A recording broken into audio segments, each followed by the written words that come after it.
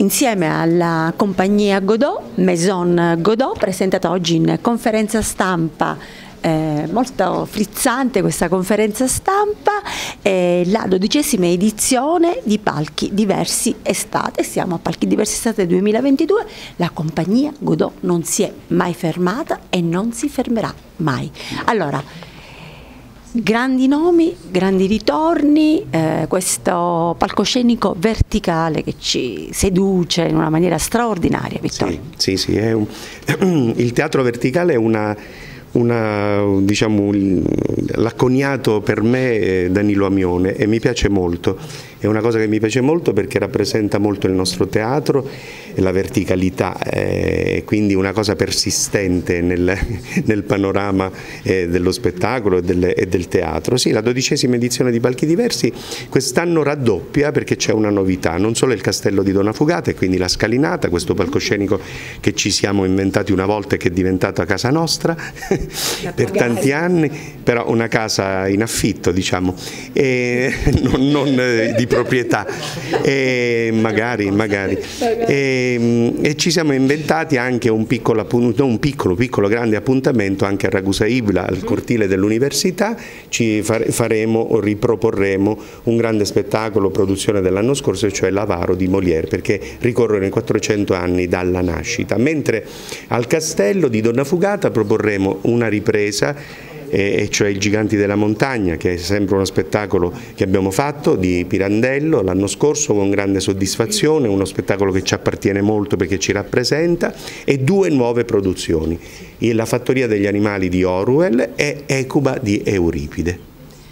Federica, eh, ogni anno ci stupite con eh, i vostri lavori, ma sempre. Eh, diciamo che siete una compagnia destagionalizzata perché voi non vi fermate e non vi siete fermati neanche eh, durante la, la, pandemia. Quindi eh, siete stati vicini al vostro pubblico, chi vi ama, chi vi segue sempre.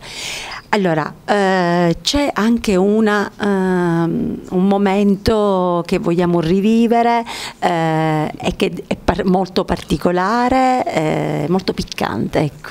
Ma allora appunto Vittorio ha parlato di questa stagione così ufficiale che sono appunto le riprese e gli spettacoli nuovi, però sicuramente troveremo il tempo e il modo per ehm, eh, rappresentare anche nuovamente uno spettacolo nuovo che ha debuttato recentemente in occasione della manifestazione Città Teatro voluta dal comune di Ragusa e che è appunto La città che non vorrei, farsa distopica ma non troppo. È un mio testo è un testo mio, inedito, originale, è satirico, sì, abbastanza satirico e forse è una piccola novità per Ragusa perché abbiamo anche un po' osato, ecco, abbiamo preso di mira tutto e tutti, ma con estrema leggerezza, credo, con ironia e anche con autoironia, eh, perché è importante essere sempre autoironici. Questo denota molto intelli molta intelligenza. Non lo so, questo lo devono dire gli altri, non lo so, spero, ma comunque io ci ho provato a essere autoironica e anche lui ci ha provato con la regia che è molto scoppiettante, con questo giornalista un po' strampalato perché parte tutto proprio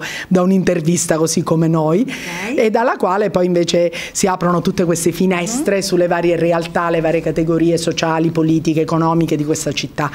E questo testo è piaciuto, ha avuto molto, molto riscontro, insomma la, veramente si sono molto divertiti e ringrazio il pubblico ragusano per questo perché appunto come hai detto tu ha dimostrato intelligenza visto che noi sì. un po' lo colpiamo qua e là. Lo riproporremo sicuramente, mm, pensiamo di riproporlo Appoggio del Sole, mm, c'è una bella disponibilità, un, bel contatto che si sta avviando, una collaborazione, sicuramente lo riproporremo in estate in una data da stabilire.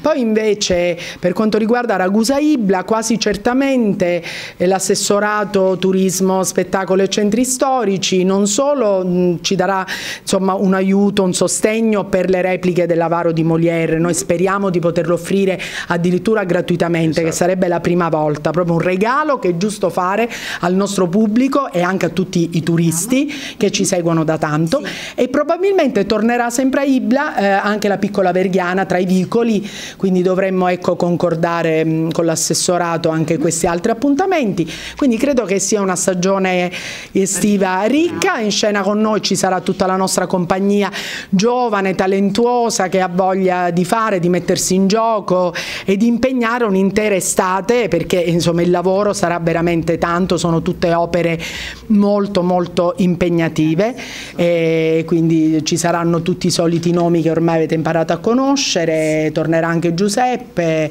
saremo un bel gruppo e intanto ringraziamo voi e ringraziamo tutti quelli che finora ci hanno sostenuto. Grazie.